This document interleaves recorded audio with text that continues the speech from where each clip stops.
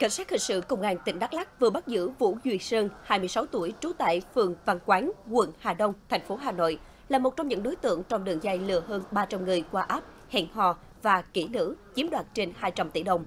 Theo trình báo của ông Hát, một nạn nhân, thì ông đã được hướng dẫn vào đường link hẹn hò.bio để tìm bạn khác giới tâm sự trên app kỹ nữ và bị lừa đảo chiếm đoạt hơn 1 tỷ đồng.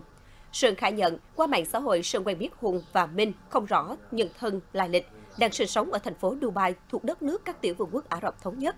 Các đối tượng này giao nhiệm vụ cho Sơn đứng ra nhận tiền chuyển khoản của các nạn nhân thông qua link hẹn hò.bio, app, kỹ nữ. Minh trả tiền công cho Sơn 12 triệu đồng trên tháng. Để thực hiện hành vi, Minh giao cho Sơn 6 chiếc điện thoại di động và 31 tài khoản ngân hàng.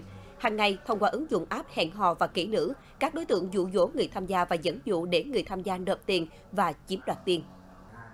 Em Hùng Minh thì chưa gặp nhau trực tiếp lần nào. Hùng và Minh chỉ đạo trực tiếp và em qua ứng dụng Telegram.